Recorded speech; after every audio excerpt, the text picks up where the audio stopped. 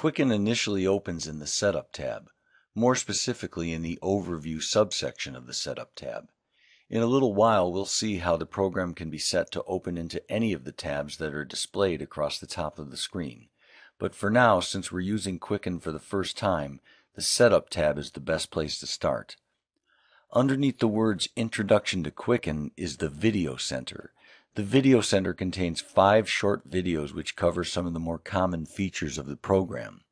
Since the purpose of this tutorial, however, is to demonstrate the numerous features that Quicken has to offer, we're going to close the Video Center for now by clicking on the Minimize button.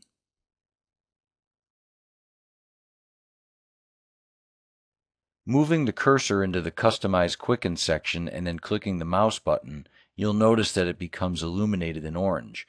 One of the features of this section gives the user the option to enter their tax status information, such as whether or not they're married or have dependents, if they own a home or a business, or rental property. Quicken uses the tax status information for tax planning purposes. It groups transactions together in ways that are helpful in the preparation of a tax return. The Quicken Preferences section is where the user can create a set of instructions for the program to follow. The first preference is whether or not to use a password when Quicken starts.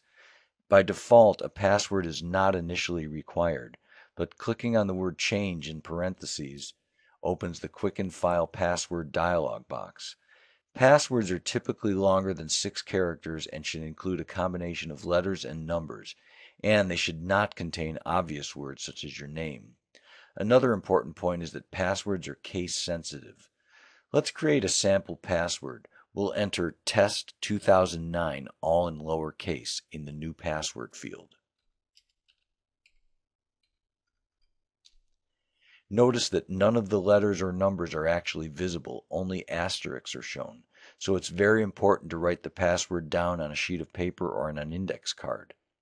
Once the password has been entered, we'll press the Tab key on our keyboard and then enter the password again in the Confirm Password field. The next step would be to save the password by clicking the OK button, but since this is a sample password, we'll just click the Cancel button.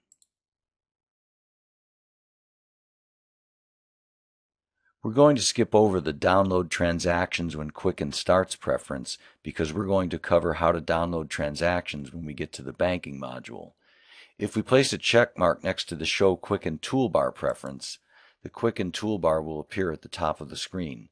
The items found on the toolbar include an icon for the Reports and Graphs Center, which we will cover later on in this tutorial, the icon for Quicken Services, which when clicked on will bring up a web page that offers Quicken users additional services and add-ons, such as the Quicken Rewards Visa credit card, the Quicken Bill Pay service, and Quicken Picks, which Quicken users can sign up for in order to receive online coupons and free offers, as well as discount shopping and cash back from various retailers.